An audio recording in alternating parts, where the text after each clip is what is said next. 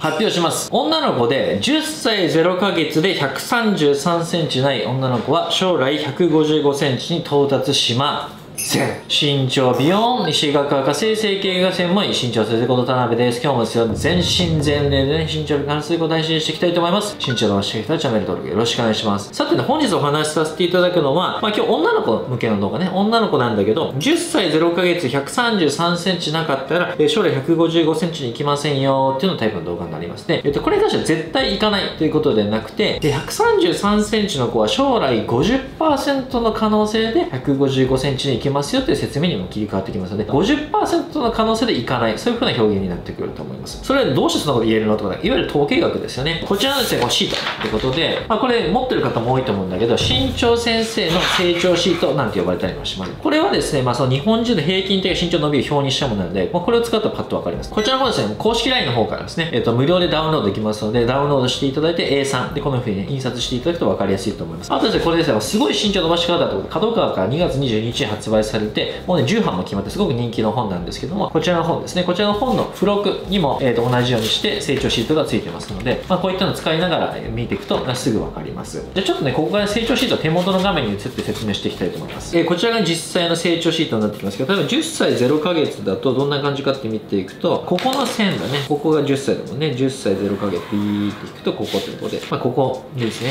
133.2センチの子が将来154.9になるよとかそんなような、えー、と表になっていきます。例えば別のところ見て127.5の子は将来150.3センチになるよとか124の子は将来147.6になるよとか例えばちょっと高い数字いこうかな。高い数字いくと143.5の子は将来163になるよとか今150センチある子なんか168センチになるよとかそういったことがね分かる表になっていきます。で、この表を見ていくと133だと155に行くか行かないか50%の可能性だって説明になります、まあ、こういったのねぜひダウンロードしていただくと分かるんじゃないかなというふうに思います。じゃあ例えば今回ね少しまあ分かりやすい例とというか一つ例を取ってみましょうということで仮なんだけど10歳0ヶ月130センチだったと仮定しましょう。その子は平均的に151.7か152.3とまあ大体152ぐらいに到達するってことね。130が152ぐらいになるよってこと。この子は150に155にいかないわけね。だからそれ困ったよねってこと。これじゃあどうするのってところで、まあ、それがいわゆる治療になっていきます。治療に関して言うと、まあ、成長ホルモン治療とか思春期コントロールするお薬。簡単に言うと思春期っていうのは遅い方が身長高くなるですよ。なので思春期をわざわざ遅らせてあげる治療ね、えー、思春期コントロールとか、まあ、あと栄養補充。サプリのことだよね。栄養サプリとか。あと生活改善とか、まあ、こういったところを、えー、とやっていって、まあ、身長を上乗せしてあげるっていうのが、えー、と現実的な選択肢になっています。例えば生活を改善したいっていう表現であればさっきもちょっとちらっと紹介したけどこのすごい身長伸ばし方とか、まあ、こういったのすごいいっぱいそんなどういうふうに生活を改善すればいいのか書いてますので、まあ、1500円なので、まあ、こういったのを買ってみて、えー、生活改善を行ってみてもいいと思います。でこのサプリメントに関して言うとさ、えー、と採血してやっていきます採血ね。採血して足りない栄養とかそういったのを、まあ、高濃度高濃度で治療していく。でこれね超重要なんだけど一般のサプリメントが悪いとは全然言わないんだけど一般で売られてるサプリメントで血中濃度が適正値に保たれるというかいわゆる理想値に保たれるかっていうと正直言ってかなり難しいです。それは実際うちで採血してもらえば分かるんだけどそれがやっぱ本当難しい。なのでかなり高濃度でやっていく必要がある。でこれはただお医者さんというかお医者さんというかこう慣れたお医者さんというか私でしかできないと思うんだけどそういうふうにしてやっていかないとこれ難しい。ここもちょっと注意してほしいです。先ほどちらっとお伝えしたんだけど春期コントロールするお薬に関してと春期って遅い方がいいんだよってことね。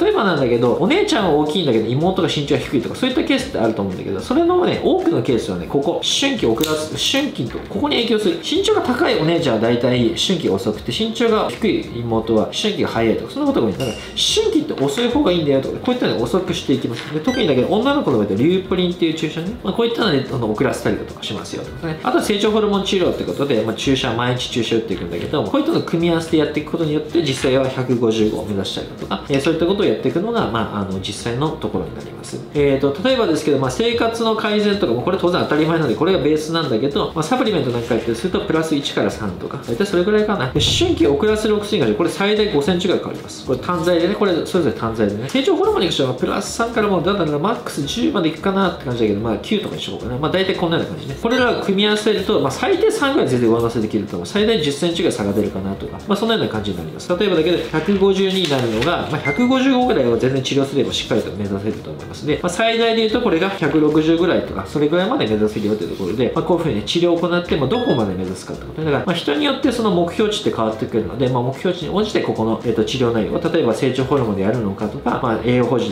にとどめるのかとか、まあ、それこそご自身で様子見ていただくのかというところで、まあ、そういうふうにねあの区分して治療を行っていくのを検討していきます。ということで、今回ね10歳0ヶ月133センチない人155センチいきませんというふうにお話したんだけど、まあ、50%の可能性いくよってことと、まあ、いかない可能性があるよってところそこをご理解いただいた上で、まあ、治療を受けることでそのいく可能性が上がってくる。そこもご理解いただければと思います。それではまた。